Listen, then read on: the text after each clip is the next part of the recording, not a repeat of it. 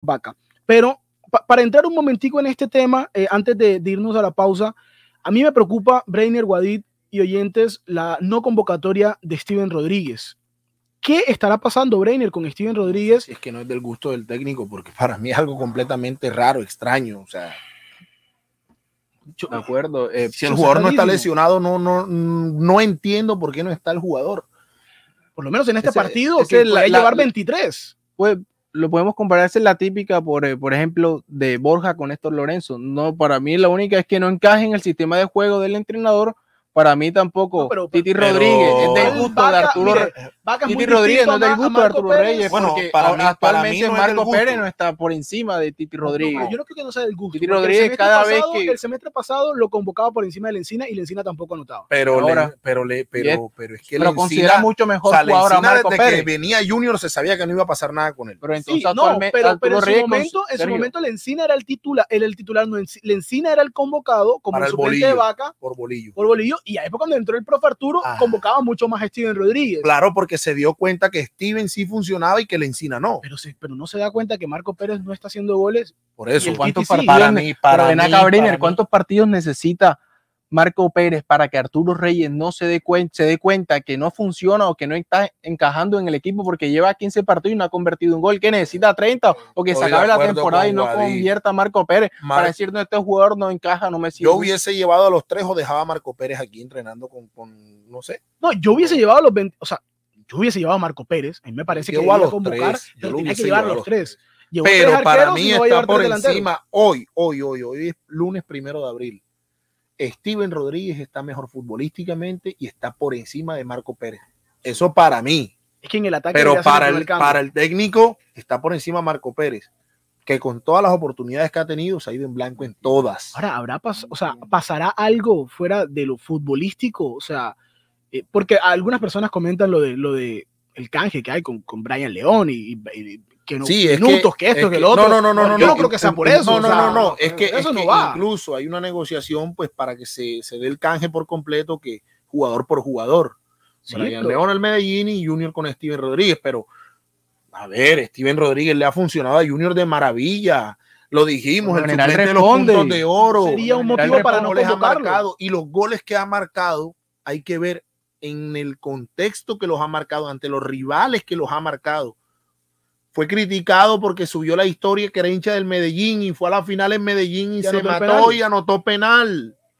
por favor, Steven Rodríguez, hoy por hoy, debe ser el suplente o el acompañante de Vaca en caso tal el, técnico quiera jugar con dos delanteros. Eso es lo que a mí me respecta. Yo no entiendo la verdad por qué no está título. Pero mire que el técnico Arturo Reyes en la última rueda de prensa manifestó que muy pocas veces, creo que dijo en una o dos oportunidades Junior ha jugado como inicialistas con Vaca y Titi Rodríguez, que son pocas las veces y que muy pocas las veces además lo va a volver a repetir. Es decir, que por inusualmente juegan y no van a repetir tantas veces a tu Reyes. a, lo que, a lo que me refiero es que el Titi debe estar por encima de Marco Pérez hoy por hoy. si es que el técnico le da la gana de jugar con dos delanteros o porque quiera jugar con un solo delantero, la primera opción para ingresar en, de un delantero en Junior hoy por hoy debe ser el Titi Rodríguez. Dejémonos de vainas, loco. en, liga, en liga, en liga, en liga, exacto. y lo debe saber el técnico, pero el técnico saber, pero no sé por qué no pone a Titi Rodríguez como suplente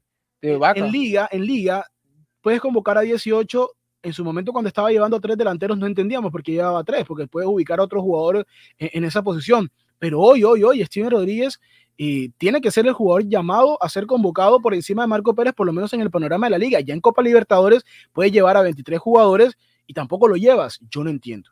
Yo no entiendo. Yo no entiendo y esperemos que sea un tema netamente futbolístico y obviamente el profesor Arturo Reyes tendrá sus, sus argumentos de peso, sus razones para dice, dice Juan Antonio Santiago Uribe, no aprenden. La vez pasada decían lo mismo de Vaca y nos sacó campeón. No, a ver, nadie desconoce la, la, la, la facultad de futbolísticas de Vaca lo que se le criticaba era que en su momento tuvo una brecha deportiva que no le daba para responder en el equipo titular.